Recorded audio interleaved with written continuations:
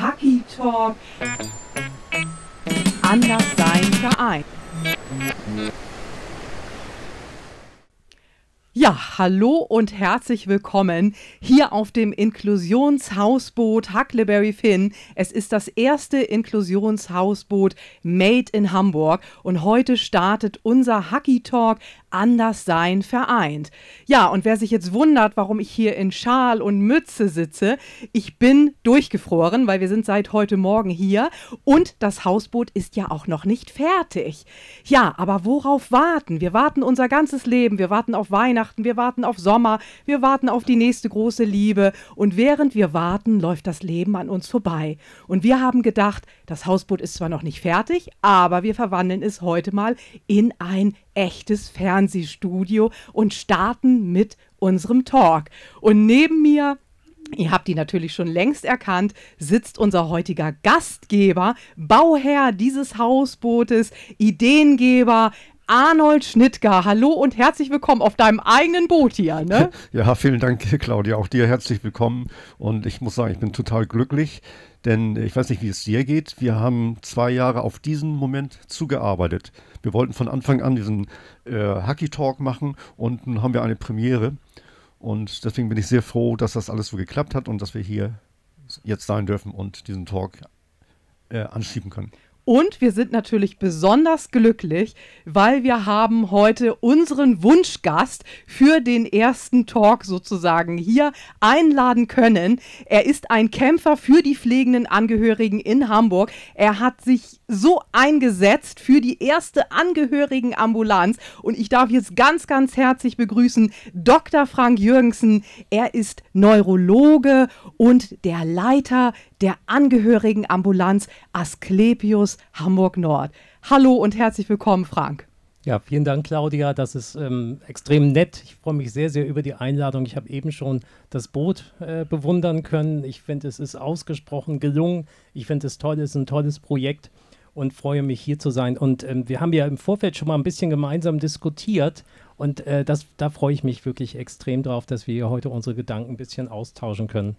Ganz genau. Und wir haben ja noch einen Gast zugeschaltet. Sie ist pflegende Angehörige und sie ist eine Kämpferin. Sie hat verschiedene Facebook-Seiten. Sie ist so unglaublich aktiv in den sozialen Netzwerken. Sie motiviert. Sie ist eine Kämpferin für die pflegenden Angehörigen. Sie pflegt ihren Mann Uwe.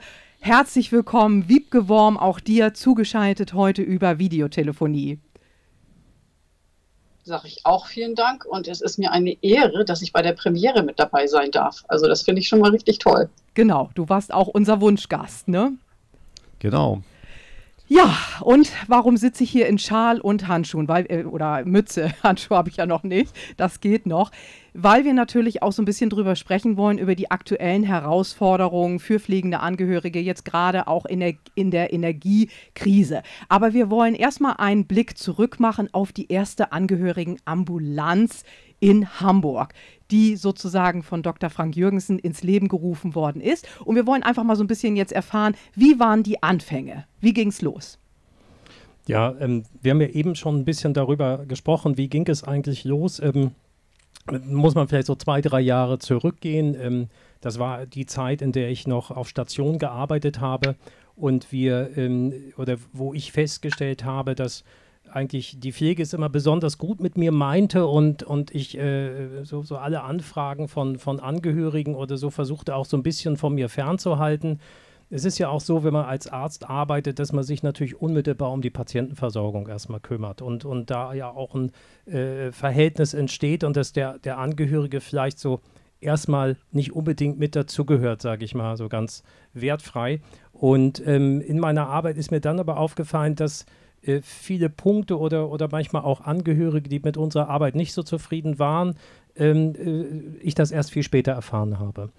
Und ähm, ich habe dann gesagt, ne, gut, das müssen wir irgendwie mal ändern und was, was können wir dafür tun? Und ich habe dann gesagt, gut, dann ähm, schauen wir mal, dass wir vielleicht die Visite, die wir machen, die regelmäßige Visite in der Klinik jetzt auch mal für Angehörige öffnen. Daraus ist dann die Angehörigenvisite entstanden. Das war eigentlich der erste Schritt und Ich weiß nicht, ob, einer von den Beteiligten schon mal im Krankenhaus bei einer Angehörigenvisite gewesen ist. Ich glaube, so verbreitet ist es nicht. Für uns war es aber so, dass wir plötzlich mit dem ganzen Team an einem Tisch gesessen haben, mit den, mit den anderen Therapeutengruppen auch. Und äh, das, was wir da gehört und erfahren haben, eigentlich unsere Arbeit so bereichert hat. Es waren manchmal sehr umfangreiche Visiten und ich glaube aber auch, dass, dass die Angehörigen plötzlich viel mehr von dem verstanden haben, was wir eigentlich gemacht haben in der Klinik.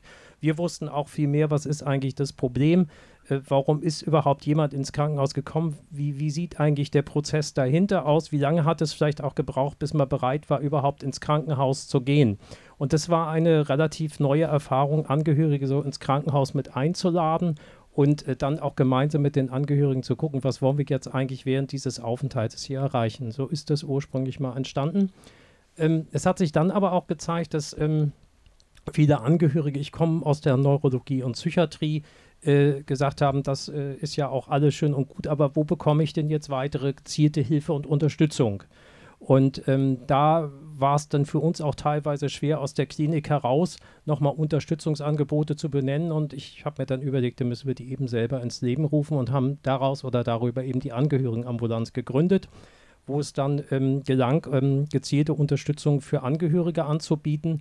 Das gezielt bedeutet vorrangig psychotherapeutische oder mentale Unterstützung auch. Und ähm, das wurde, muss man sagen, sehr, sehr gut angenommen und nachgefragt, dass es dann auch gelang, irgendwie ähm, gemeinsam äh, mit Asklepios äh, Stellen dafür zu schaffen und bei uns vor allen Dingen Psychologen da, dafür einzustellen, mit denen wir dann diese Arbeit gemacht haben. Das ist jetzt so etwa zwei Jahre her. Wir haben parallel dazu einen Preis gewonnen, innerhalb von Asklepios, einen, einen Innovationspreis. Das ähm, ist, glaube ich, auch so. Ähm, Angehörigenversorgung ist das nicht selbstverständlich und es war halt auch ein sehr innovatives Projekt, was dann uns nochmal viel äh, Unterstützung gesichert hat.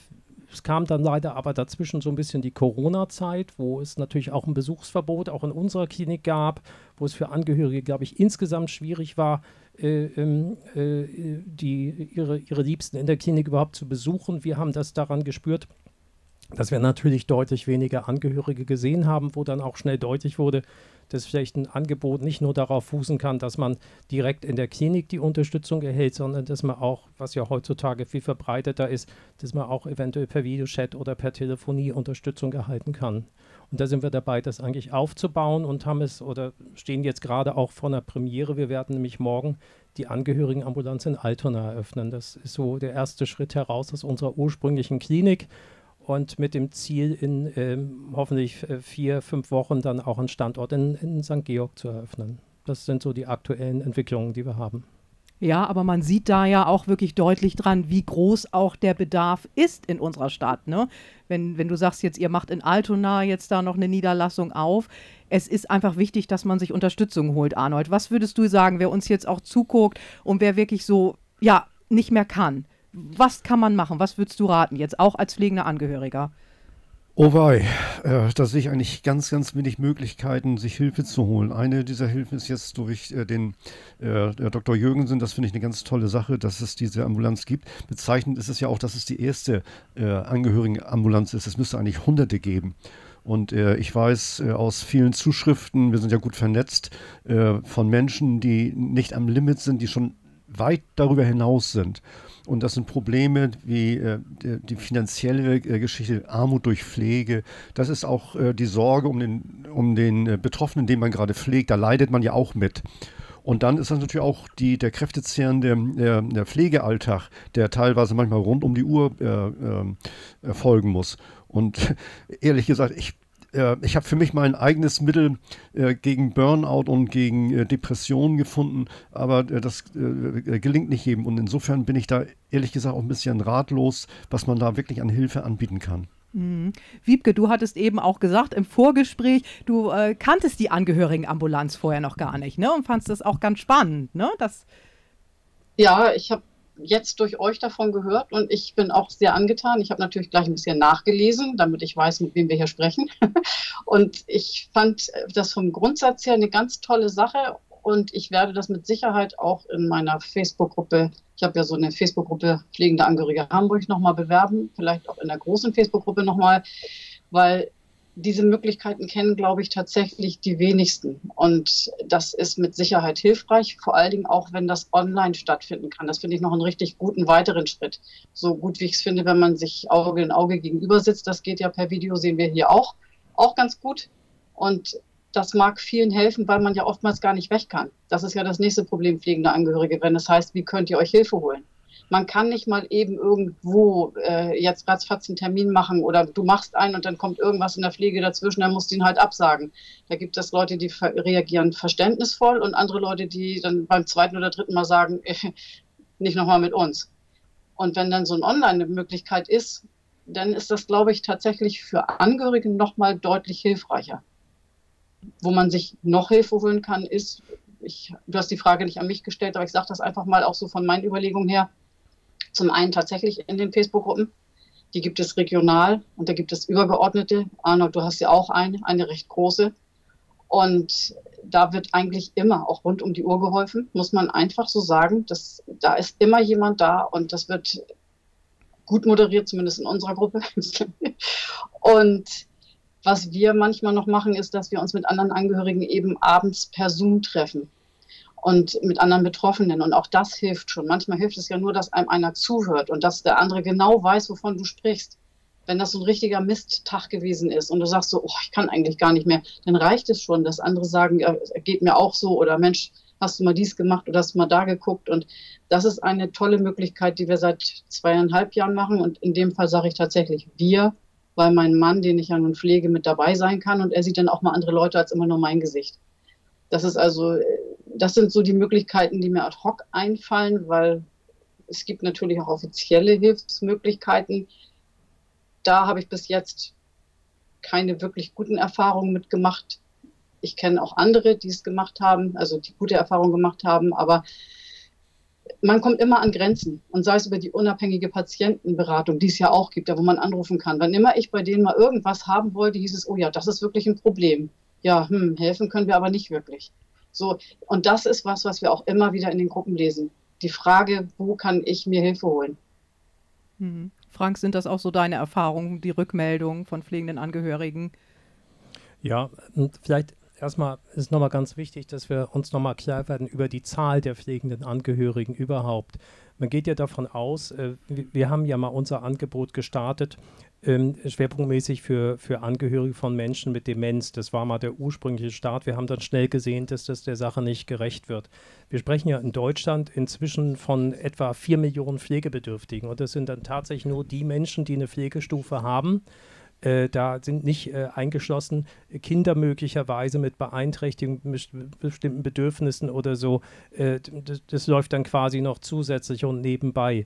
Ähm, sodass man sagen kann, etwa 5 Millionen Menschen sind in Deutschland regelmäßig mit der Versorgung von An Angehörigen konfrontiert oder beschäftigt. Das ist immer eine Frage des, des Blickwinkels. Und ähm, das also eine, eine man, man, spricht dann auch mit vom größten Pflegedienst Deutschlands. Und ähm, da äh, sind, sind doch die Unterstützungsangebote noch sehr gering und, und sehr wenige. Und ähm, ich möchte aber auch nochmal darauf hinweisen, dass ja die, die Pflege oder Pflegeverantwortung ja nicht nur negative Aspekte hat, sondern es gibt ganz viel, an dem man auch wachsen kann. Es gibt gute Gründe, warum man sich entschieden hat, das genau so zu machen, wie man das macht. Und ähm, ich erinnere so, so, den Satz eines unserer äh, Patienten, der zu mir sagte, ähm, das hat mir geholfen, aus mir selber einen besseren Menschen zu machen. Also diesen Aspekt hat es ja auch, aber es gibt auch viele Aspekte, die äh, so ähm, eigentlich, wo, wo, jemand sagt, das ist ein tägliches Hamsterrad. Und ähm, ich bin nun Arzt und Mediziner und es ist so, dass chronischer Stress eben auch selber krank machen kann. Das muss man ganz klar sagen. Und was passiert eben, wenn ich plötzlich ausfalle in der Versorgung? Was ist dann eigentlich? Wie geht es dann weiter? Was ist denn die Alternative dazu? Und ähm, spätestens das sollte eigentlich das, dazu führen, dass man sagt, okay, wie, wie läuft das eigentlich ohne mich? Was gibt es für Alternativen? Ähm, das ist sehr, sehr schwierig, denn in Deutschland gibt es ja eigentlich keine Präventionsangebote für pflegende Angehörige. Das heißt, wir werden überhaupt nicht darauf vorbereitet. Und im, äh, in der Regel ist es ja so, dass Pflegeverantwortung von einem Tag auf den anderen entsteht und man plötzlich mit diesen Dingen konfrontiert ist.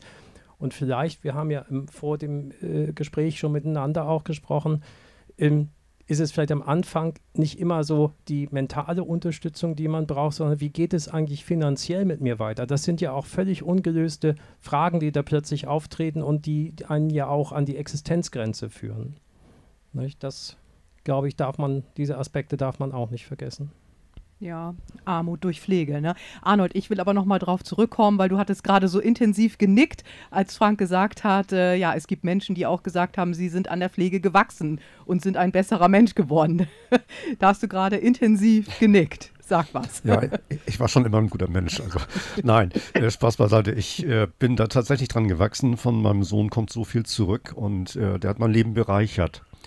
Und äh, ich glaube, das geht auch vielen anderen pflegenden Angehörigen so, dass sie an, an, an äh, ihre Aufgabe wachsen, dass sie eine Aufgabe haben. Der, der Mensch ist ja äh, dazu gedacht, äh, eine Aufgabe zu erfüllen. Und äh, von daher ist das äh, ein ganz wichtiger Aspekt. negativ würde ich sagen, dass die Politik die Liebe der Menschen zu ihren Angehörigen schamlos ausnutzt.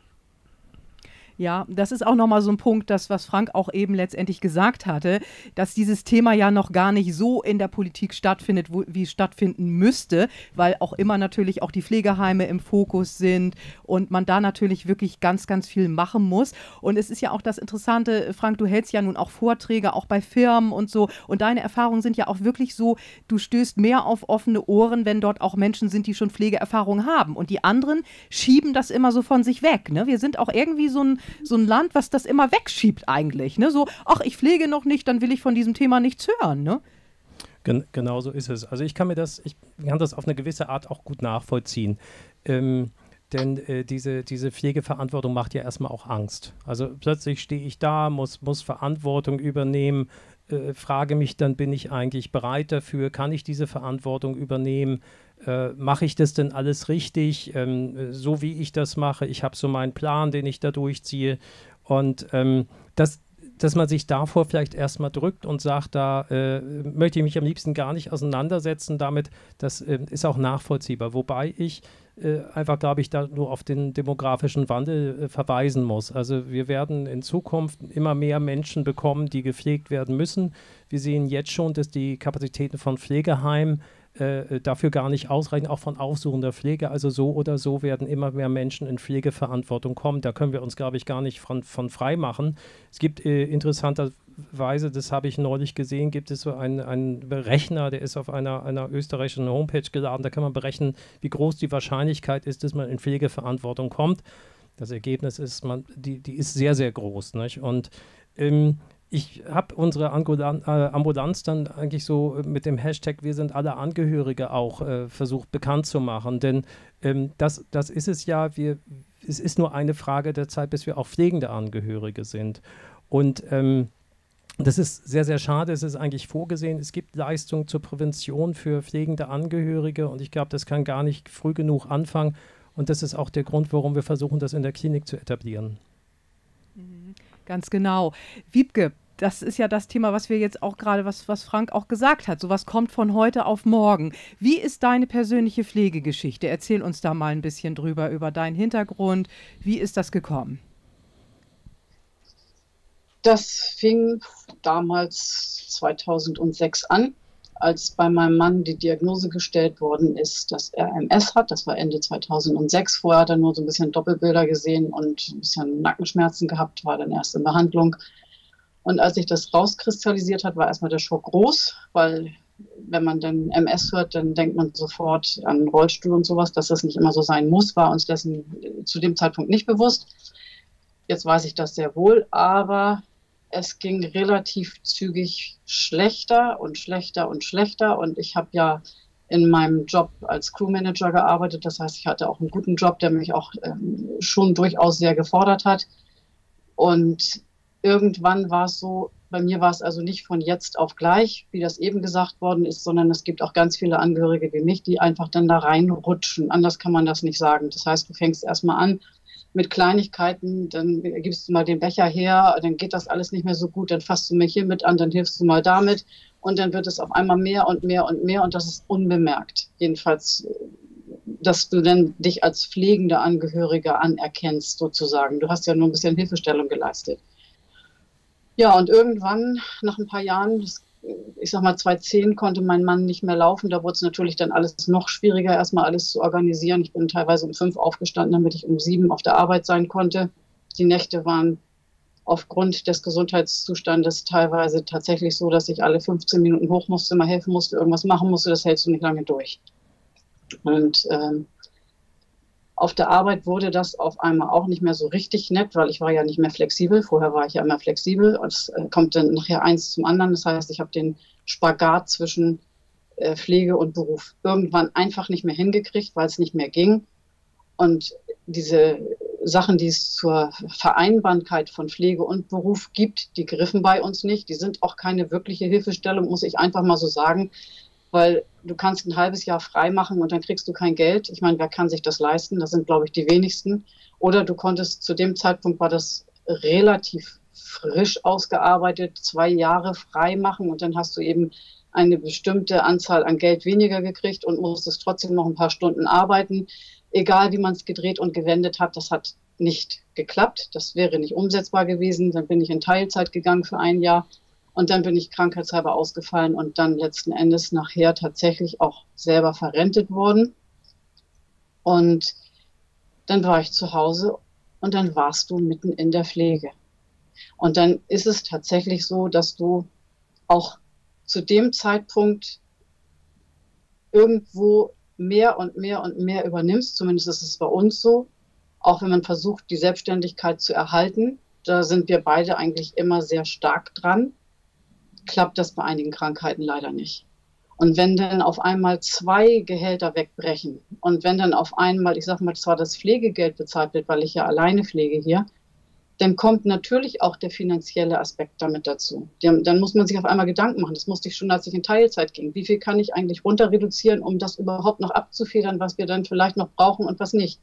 Und dann heißt es, das Pflegegeld ist dazu da, um die Pflege zu Hause sicherzustellen. Ja, aber natürlich fließt das bei ganz vielen pflegenden Angehörigen mit in die Lebenshaltungskosten, weil wie stellst du denn eine Pflege zu Hause sicher? Indem du es warm hast, indem du den Menschen in Tüttelchen entertainst, weil du dann meinetwegen den ganzen Tag einen PC anhast oder Radio anhast oder Fernsehen anhast. Das ist mehr Strom, das ist mehr Heizung. Man muss ganz viel waschen. Oftmals, nicht immer, aber es ist eben oftmals so. Das heißt, du hast mehr Wäschegeld, mehr Wassergeld.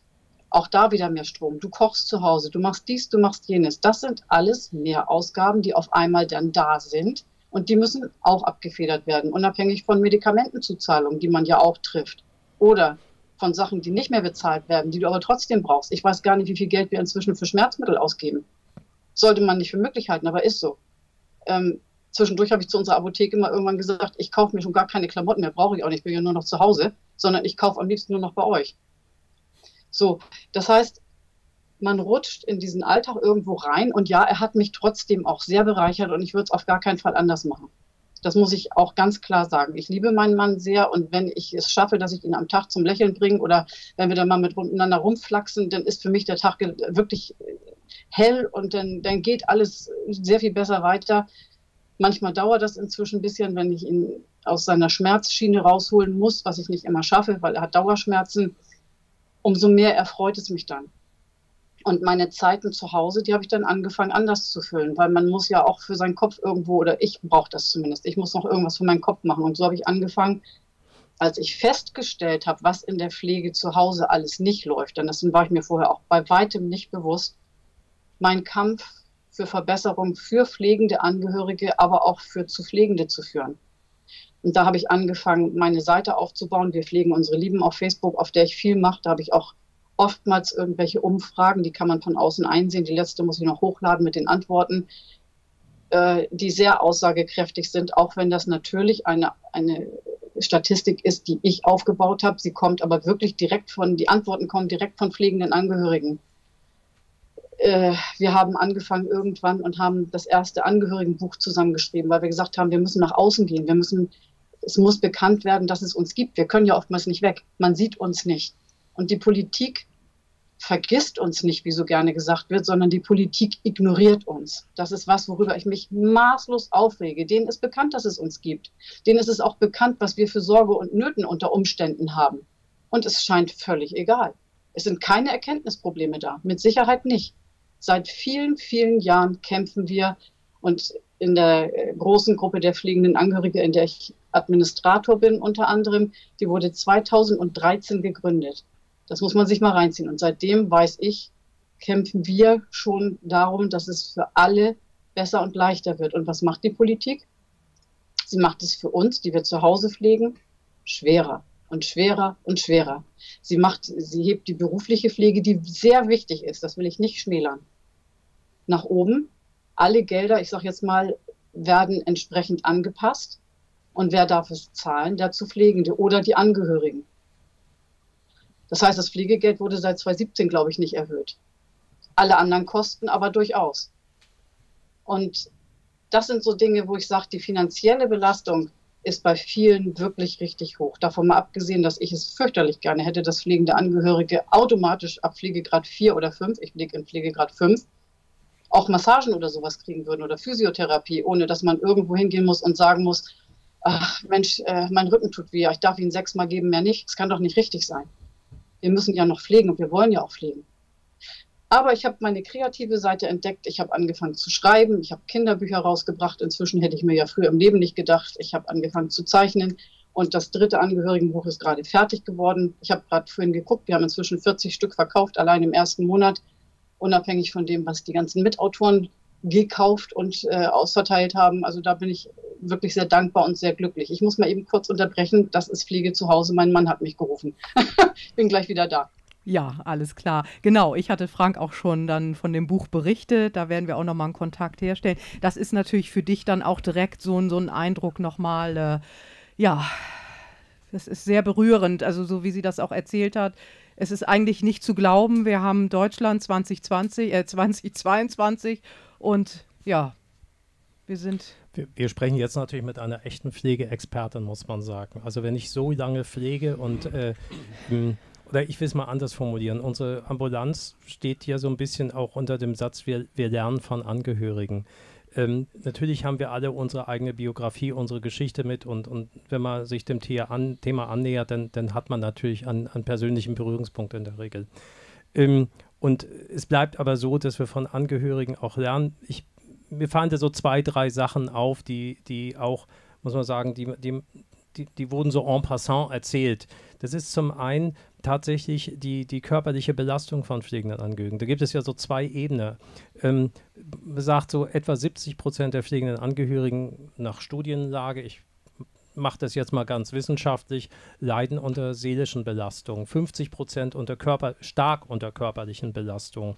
Ähm, was wir inzwischen wissen, ist, dass äh, eigentlich die pflegenden Angehörigen unter Dauerstress stehen. Das bedeutet, dass äh, es gibt ja so ein, ein, Stresshormon, was permanent im Körper erhöht ist. Und äh, wir wissen eben auch aus Untersuchungen, dass die Sterblichkeit von pflegenden Angehörigen höher ist als im Durchschnitt.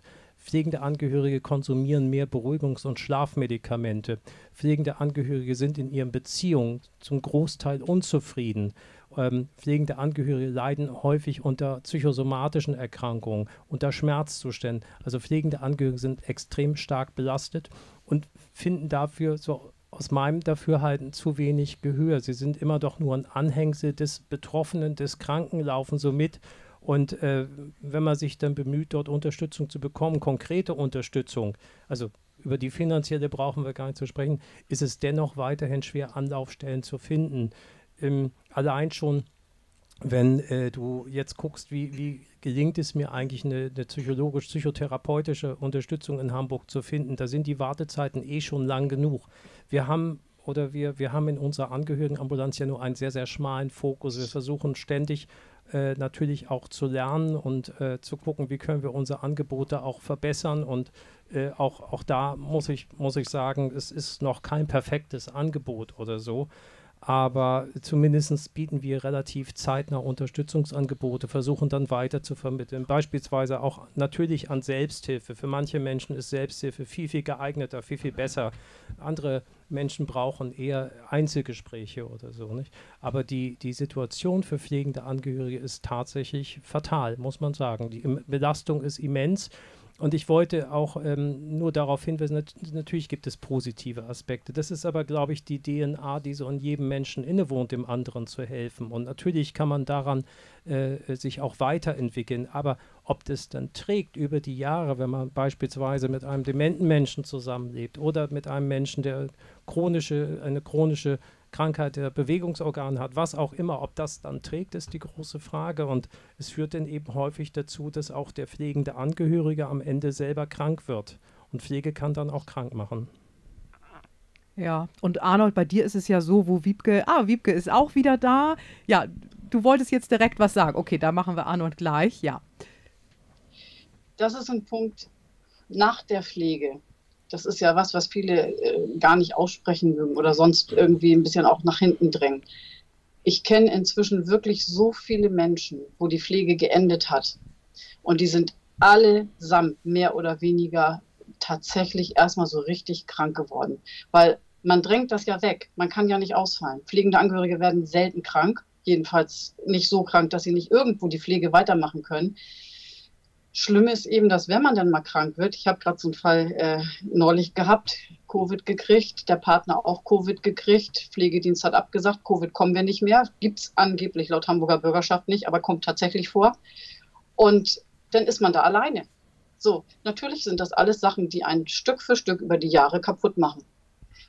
Es wäre aber vielleicht auch hilfreich, das jetzt nur so als ganz kleine Anregung, ich weiß ja nicht, ob das überhaupt mit umsetzbar wäre, wenn psychosomatische Gespräche auch mit denjenigen, die zu Hause in den Betten liegen, geführt werden könnten. Denn das kriegt man überhaupt gar nicht hin. Man kriegt ja so schon kaum irgendwo Termine, wenn jemand noch irgendwo hin kann. Das hatten Sie ja vorhin auch gesagt, das ist einfach eine Tatsache. Aber diejenigen, die zu Hause sein müssen und die ja noch eine ganz andere Art der Belastung haben, dadurch, dass sie nicht rauskommen, die haben niemanden, außer vielleicht Ehefrau, Ehemann, Mutter, Vater, Kind, wer auch immer gerade pflegt. Und das kann natürlich auch zu Anspannung führen. Nur so als Idee, weil ich sag mal, darüber habe ich mich neulich eine ganze Weile mit anderen Leuten ausgetauscht. Und da waren einige auch ganz schön verzweifelt, weil die sagen, ich kriege einfach keine Hilfe. Ich weiß nicht wie. Und sie bräuchten sie nicht nur für sich, auch für sich, aber nicht nur für sich, sondern eben auch für den Partner oder die Partnerin, die nur noch zu Hause sind. Frank, wollte ja, auf, auf jeden Fall, ähm, gar keine Frage. Ähm, ich, wir, müssen, wir müssen natürlich mit unseren Ressourcen gucken. Wir haben nun gesagt, wir setzen uns vorbehaltlos für pflegende Angehörige ein. Ähm, das ist äh, ja äh, nicht ungewöhnlich, dass sozusagen die pflegenden Angehörigen jetzt noch für die Rechte der Gepflegten kämpfen. Ähm, ich habe mich irgendwann entschieden und habe gesagt, wir möchten uns gerne für pflegende Angehörige einsetzen. Da liegt noch vieles im, im Argen und äh, das wollen wir eigentlich verbessern.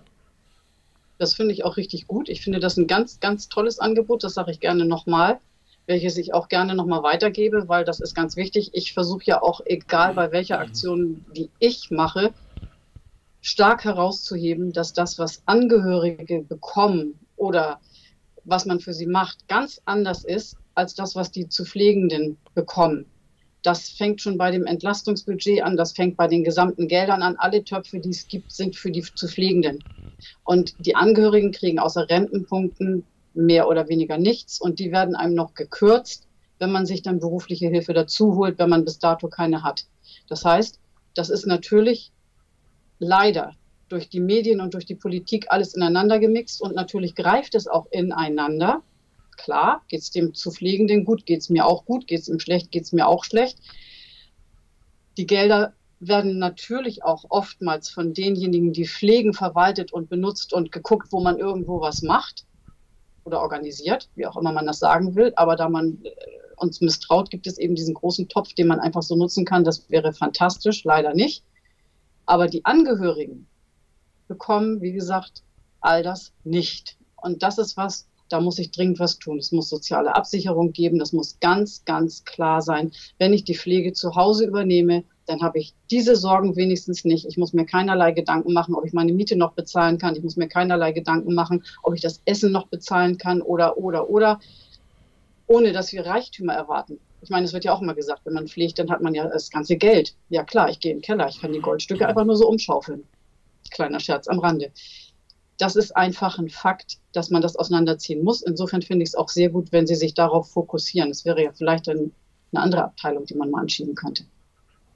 Also das, das ist natürlich ein ganz, ganz wichtiger Punkt, den Sie da ansprechen. Und ähm, ich äh, ist, also das ist etwas, was ich auch öfter höre, dass bevor ich eigentlich mich um mich selber kümmern kann, muss ich ja erstmal sehen, dass es dem zu Pflegenden gut geht. Also Sie machen sich ja im Augenblick gerade, ich meine, Sie, Sie, sind ja auch jemand, der schon sehr, sehr lange pflegt und über viel Erfahrung verfügt. Ähm, sicher über viel mehr als Menschen, die zum ersten Mal in diese Pflegeverantwortung kommen. Und äh, machen sich dann schon Gedanken, wie geht es dem zu Pflegenden gut. Was aus meiner Erfahrung darüber ist aber, aber vergessen wird, ist, wie geht es demjenigen, der diese Pflege leistet?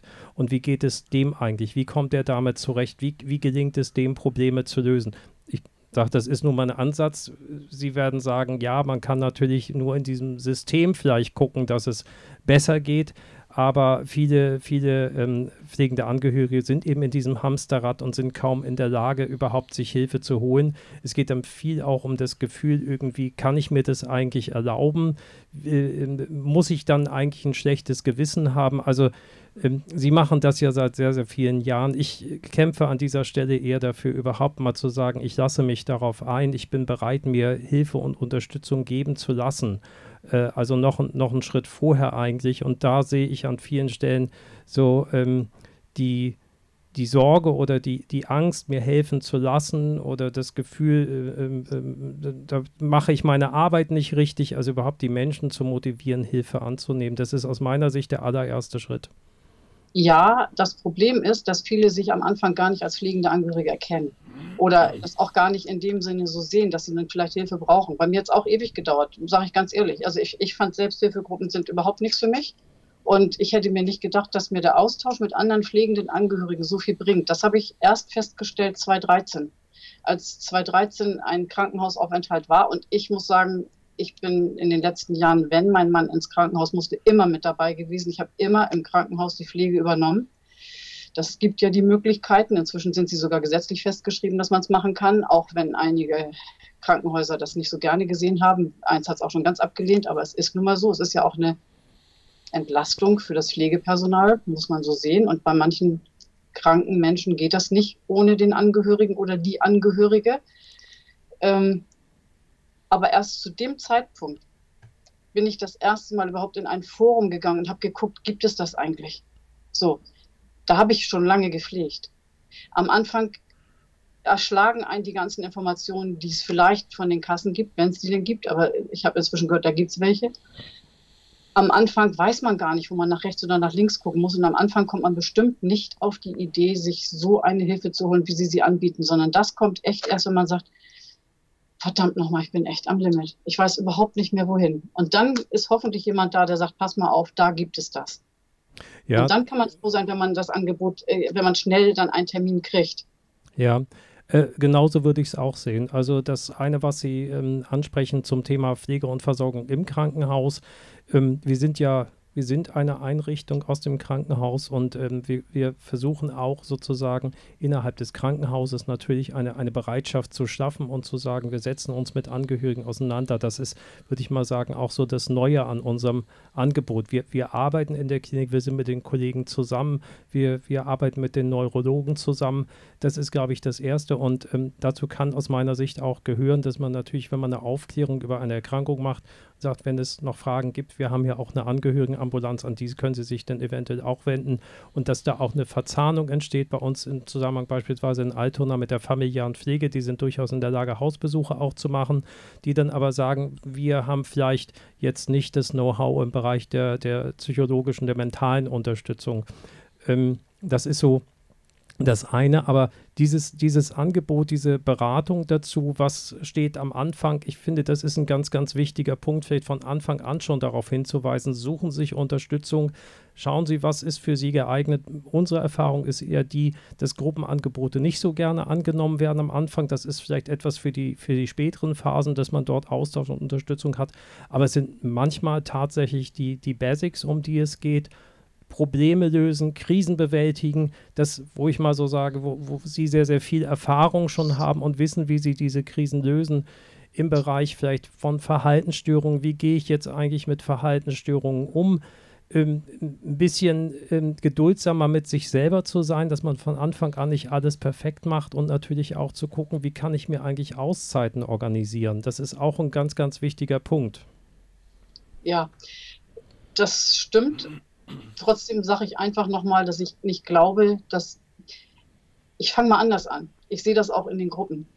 Wenn man im Pflegegrad 5 pflegt, sind die Anforderungen ganz anders, als wenn man im Pflegegrad 1 jemanden unterstützt, ich sage mal ganz bewusst unterstützt, im Pflegegrad 2 oder 3 jemanden pflegt, wobei das da bei 3 schon drauf ankommt, was für eine Art der Erkrankung das ist. Wenn das was mit, mit äh, äh, Gehirntätigkeit zu tun hat, was nicht mehr alles so funktioniert, oder wenn das mit Demenz zu tun hat, dann ist das schon sehr, sehr schwer.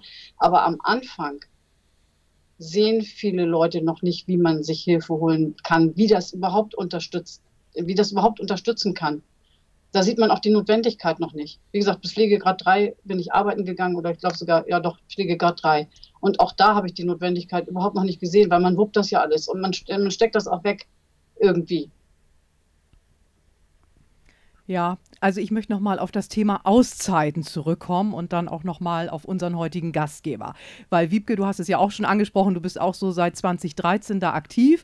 Arnold ist ja auch so um den Zeitpunkt ungefähr durch Deutschland gewandert, um auf die Sorgen und Nöte der pflegenden Angehörigen aufmerksam zu machen. Und daraus hat sich dann ja so langsam, Step by Step, diese Idee auch mit dem Hausboot entwickelt. Erzähl mal, wie kam das so?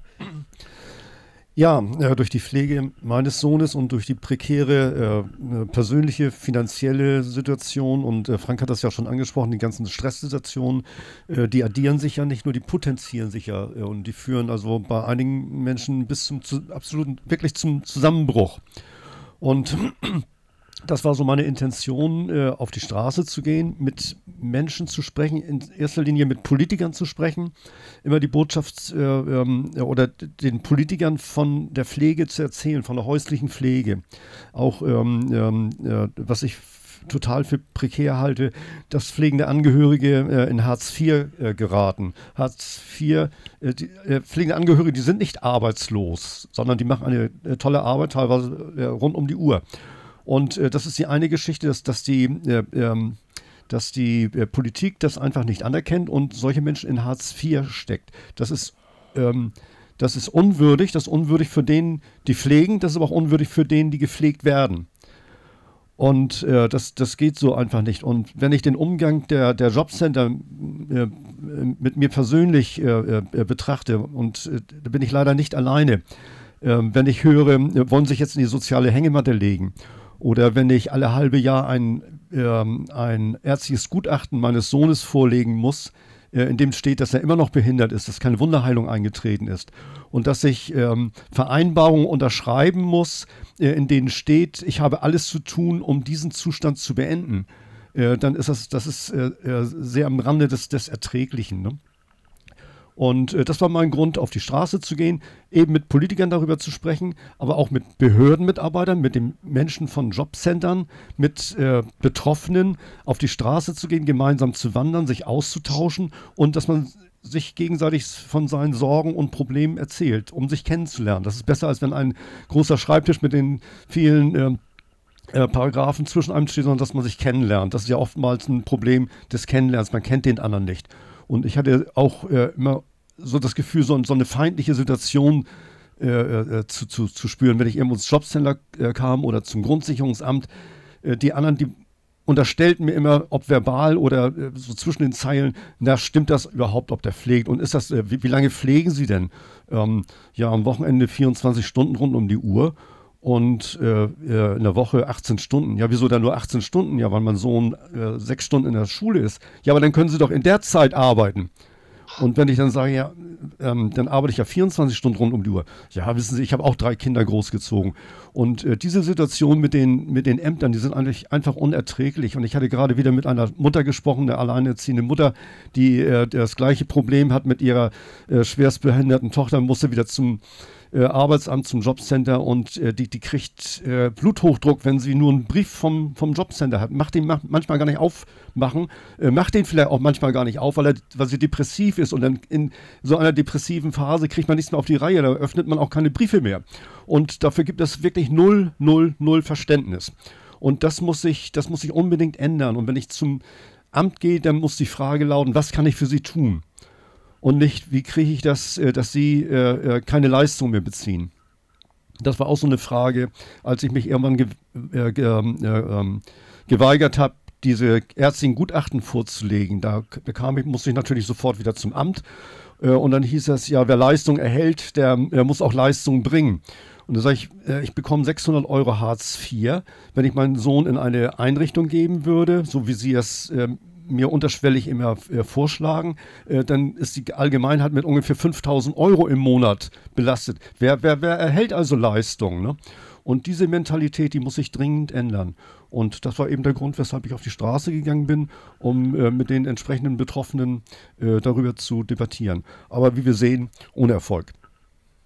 Naja, ohne Erfolg würde ich jetzt nicht sagen, weil du hast ja jetzt dieses Hausboot geschaffen für pflegende Angehörige. Erzähl mal, was ist geplant?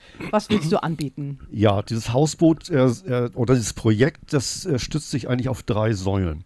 Die erste Säule ist den Menschen, die betroffen sind, pflegende Angehörige, Menschen mit Behinderung, äh, ein, bisschen Spaß und Abwechslung in dem Pflegealltag zu bieten. Dass wir zum Beispiel einmal rausfahren zum Ankern, dass wir gemeinsam Kaffee trinken. Äh, wir haben viele ähm, äh, Menschen, die, äh, wir haben einen, Buchautor, wir haben eine Musikerin, die hier ein bisschen Musik macht, ein bisschen Freude in den Alltag derjenigen zu bringen, äh, die, die pflegen und auch die gepflegt werden. Ich habe wir, wir, wir, sagen zwar, das ist das Inklusionshausboot, wir haben aber an den ähm, äh, am, am Dach stehen Teilhabe. Teilhabe ist Menschenrecht. Und wenn wir das Wort Inklusion durch das Wort Teilhabe ersetzen, dann merken wir sofort, wie viele Menschen überhaupt an der Teilhabe ausgegrenzt werden. Das sind alle die äh, äh, körperlich behindert sind, das sind die, die geistig eingeschränkt sind, das sind die pflegenden Angehörigen, weil sie durch die Pflege eingeschränkt sind, weil sie durch diese äh, finanzielle äh, ähm, äh, Belastung eingeschränkt sind. Das sind Menschen in prekären Lebensverhältnissen, Kinder, Jugendliche aus prekären Verhältnissen. All denen möchten wir ein bisschen Freude bereiten und dazu haben wir dieses Hausboot, mit dem wir dann eben verschiedene Aktionen machen. Ähm, die nächste Säule ist mit Politikern und Experten, so wie wir es jetzt auch machen. Wir haben heute leider keine Politikerin dabei mit Experten und Betroffenen, äh, Wiebke, äh, gemeinsam die Lebenssituation besprechen und versuchen, diese Lebenssituation ein bisschen zu verändern. Das ist die äh, äh zweite Säule. Die dritte Säule ist mit dem Hausboot, das ist ja auch ein kleiner Hingucker, immer wieder an die Öffentlichkeit gehen und diese Sorgen, die wir haben, äh, in den Fokus der Öffentlichkeit zu bringen und eben auch zu sagen, Frank, wie du es auch sagtest, jeder ist jeder ist äh, Angehöriger. Und wer heute nicht Betroffener ist, der wird mit Sicherheit der Betroffene von morgen sein. Entweder vor dem Bett oder in dem Bett. Und das sind diese äh, Dinge, die wir äh, gerne besprechen wollen. Und dafür ist die Hacki da und soll dafür ein Zeichen setzen. Ja, ganz genau. Und vor allen Dingen natürlich auch die Gesellschaft von innen dadurch zu verändern. Weil wir haben gerade gesagt, wir haben festgestellt, die Jobcenter sind noch nicht oder die Mitarbeiter sind noch nicht so geschult, wie sie sein sollten. Denn es kann nicht sein, dass Menschen Angst haben, dass sie sich ihr ganzes Wochenende verderben, nur weil sie einen Brief äh, sozusagen im Briefkasten haben, wo dann Jobcenter drauf prangt. Und wir haben es ja selber erlebt, was das mit Menschen macht. Aber wie können wir da vorgehen? Wie, wie können wir da sagen, wir, wir bieten Schulungen an? Wie können wir da noch eine größere Reichweite bekommen? Also ich denke, ähm, Claudia, es ist sicher auch ein Punkt, dass natürlich Pflege, Pflegeverantwortung auch Angst macht. Ähm, so als Beispiel sehe ich äh, in unserer Klinik, wir haben so einen so Instagram-Account auch beispielsweise und äh, dann merken wir, da, da sind dann vielleicht 1000 Follower oder so drauf. Das ist ja eigentlich heutzutage gar nichts mehr. Das hängt aber auch ganz einfach damit zusammen, ich beschäftige mich natürlich erst mit einer Klinik, wenn ich selbst betroffen bin. Da gehe ich ja nicht freiwillig drauf. Und ähm, Pflege und Pflegeverantwortung, älter werden, chronische Erkrankung macht vielen Menschen ja auch Angst. Das ist ja auch äh, was ganz Normales.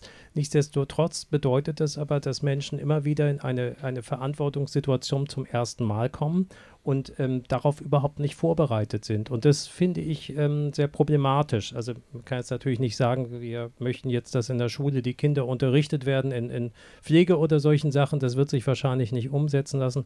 Aber trotzdem habe ich das Gefühl, es gibt auch bei uns in unserer Gesellschaft einen, einen erheblichen Blindenfleck für diesen, diesen Bereich, der uns eben doch alle betrifft. Hm, genau, dass man, ja, und dann sind es natürlich auch diese Leuchtturmprojekte, die darauf aufmerksam machen, dass man immer sozusagen auch an dem Thema dranbleibt, sich Unterstützung auch holt. Und Wiebke, du hast es ja auch gesagt, du hast dir eigentlich viel zu spät Unterstützung geholt. Und wir wollen an dieser Stelle auch nochmal deutlich machen, wartet nicht zu lange, um euch Hilfe zu holen. Ihr habt jetzt hier heute auch Dr. Frank Jürgensen kennengelernt und äh, wenn ihr zu Hause seid und es euch nicht gut geht oder guckt in die sozialen Netzwerke, Wiebke hat es auch bestätigt, es hilft ihr sehr, sich mit anderen pflegenden Angehörigen auch auszutauschen. Äh, und Wiebke, da könntest du auch noch mal deine Seite nennen, wer das jetzt sieht und wer sagt, Mensch, da möchte ich, das, das wäre vielleicht erstmal sowas für mich und dann vielleicht die Angehörigenambulanz. Kannst du noch mal deine Seite bitte nennen? Ja, also ich sag mal, die Seite, auf der ich ein Tüttelchen blogge, heißt Wir pflegen unsere Lieben. Das ist eine ganz öffentliche Facebook-Seite, da kann jeder drauf gucken, ob er einen Account hat oder nicht. Und dann habe ich eine geschlossene Hamburger pflegenden Angehörigen-Gruppe im Facebook aufgemacht. Die findet man per Suche auch. Da schreibt man einfach pflegende Angehörige Hamburg. Die habe ich bewusst geschlossen. Die große Gruppe der pflegenden Angehörigen, genau wie die von Arnold, äh, die Pflegerebellen, die sind öffentlich. Und die sind auch meines Erachtens beide bewusst öffentlich, damit eben auch von außen gesehen werden kann, wo es knackt, damit die Politiker, wir, wir haben inzwischen etliche Politiker, weiß ich, die auch drauf gucken und äh, mitlesen können. Ob das nun gut ist oder nicht, weiß man manchmal nicht so genau, weil sich bis jetzt ja alles eher nur verschlechtert hat. Aber wir sind ja positiv und wir hoffen weiterhin, also meine Gruppe, wir pflegende Angehörige Hamburg, ist geschlossen, damit wir so einen kleinen Raum haben, wo man sich dann auch tatsächlich austauschen kann, wenn einer andere Sorgen hat, was man vielleicht nicht so gerne öffentlich schreiben mag. Und da sind nur drei Fragen zu beantworten, damit man reinkommt, nämlich wen man pflegt und ähm, ob man aus Hamburg kommt, wenn ja, woher. Also, weil wir gesagt haben, wir haben eben regionale Gruppen und das grenzt sich ja doch tatsächlich auch vom Bundesland zu Bundesland leider ab. Es ist ja nicht mal einheitlich alles irgendwo geregelt, genau. bis auf wenige Dinge. Mhm. Ja, genau. Also da könnt ihr Kontakt suchen. Und Frank, wie würde das jetzt ablaufen, wenn jetzt jemand uns zuhört, der sagt, Mensch, ja doch, das ist jetzt das Richtige, ich hole mir jetzt Unterstützung, weil der beste Zeitpunkt ist jetzt. Ich warte nicht mehr. Wie läuft das ab, die Kontaktaufnahme? Naja, man kann eigentlich sagen, in dem Moment, wo man sich Gedanken darüber macht, brauche ich eigentlich Hilfe, ist der Punkt aus meiner Sicht schon erreicht. Ähm, ich ähm, erinnere nur das Gespräch mit einer äh, unserer Patientin, die sagte, und beinahe wäre mir die Hand ausgerutscht. Also so das ist, muss man wirklich gucken, ähm, denn es ist ja nicht nur so, äh, wir, wir, haben ja auch, wenn wir pflegen, eine Verantwortung für den, den wir pflegen. Und äh, zum einen betrifft das die Situation, wenn ich als Pflegender ausfalle, was passiert dann eigentlich? Ist also wichtig, da auch schon mal zu überlegen, was, was für Abläufe äh, würden dann möglicherweise greifen. Und äh, an der Stelle vielleicht auch zu überlegen, muss es denn eigentlich so weit kommen? Muss es erst ein Burnout sein oder muss ich möglicherweise schon Konsequenzen auf der Arbeit haben oder gesundheitliche Konsequenzen? Ähm, und äh, spätestens, also viel, viel früher sollte ich mir eigentlich überlegen, welche Form von Hilfe ich brauche. Es gibt sehr viele Angebote, ganz unterschiedliche Angebote und ich äh, habe jetzt nicht die Vorstellung, dass, dass wir nur mit unserem Angebot richtig liegen, sondern es gibt Selbsthilfeangebote, es gibt KISS in Hamburg. Also äh, ich glaube, da ist für jeden das Passende dabei. Es gibt viele Selbsthilfeangebote auch für bestimmte Erkrankungen. Denken wir an Rheuma, denken wir an Krebs, denken wir an Schlaganfall. Ähm, das ist das eine. Wenn man sich dann entschieden hat, Hilfe aufzunehmen, und das ist das Entscheidende, sich Hilfe zu suchen und zu sagen, ich lasse mir helfen, denn äh, man, man auch wenn wir jetzt gerade die, die Fußball-Weltmeisterschaft haben, auch, auch, hinter so einem Team stehen Psychologen und Hilfer und, und äh, dieses Team kämpft da nicht für sich alleine und das ist jetzt nicht irgendwie ehrenrührig oder so Hilfe anzunehmen. Mit uns tritt man in Kontakt entweder per E-Mail, das wäre unter ähm, möglicherweise äh, äh, Angehörige, ähm, Angehörigenambulanz at asklepios.com eine Möglichkeit oder auch telefonisch. Man findet uns auch inzwischen im Netz und äh, das wäre so die eine Möglichkeit. Und es gibt dann auch äh, die Möglichkeit, dort erstmal mit jemandem zu sprechen und überhaupt erstmal zu gucken, ist das eigentlich das Richtige für mich. Ähm, Nochmal, wir, wir sind eine von vielen Hilfsangeboten, die es gibt. Mir geht es vorrangig darum, dass Menschen überhaupt die Pflegeverantwortung übernehmen, sich überhaupt Hilfe suchen und äh, nicht sagen, ich trage das jetzt alles alleine.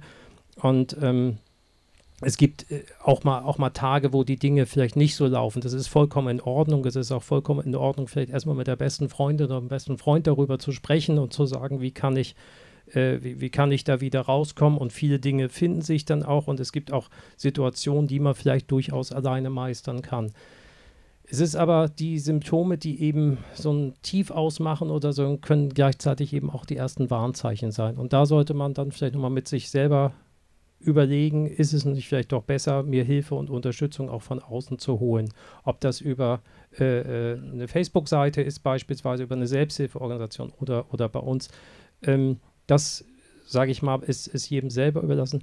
Ich denke, was, was uns auszeichnet, warum mir das Projekt so wichtig ist, dass wir innerhalb einer Klinik arbeiten und natürlich auch äh, insofern irgendwie gucken, dass auch unsere Mitarbeiter ein Stück weit geschult sind im Umgang mit Angehörigen. Oder das, was äh, Arnold eben erzählt hat, nicht? Ich komme auf dem Amt und äh, stellt da vielleicht eine Frage und der andere kann sich überhaupt nicht in das einfühlen, was, wovon ich überhaupt spreche. Und das ist mir wichtig, dass wir, glaube ich, als Klinik da eine soziale Verantwortung haben und dass auch unsere Mitarbeiter äh, auf den verschiedenen Stationen sagen können, bis hierhin kann ich weiterhelfen, hier kann ich professionell vermitteln oder hier können wir auch vielleicht zu jemandem nach Hause kommen, dass wir, dass wir das auch anbieten können. Darum geht es mir.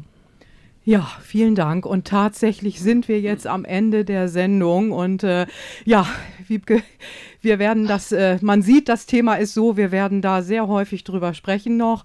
Frank wird auch sicherlich noch sehr häufig bei uns zu Gast sein als Experte.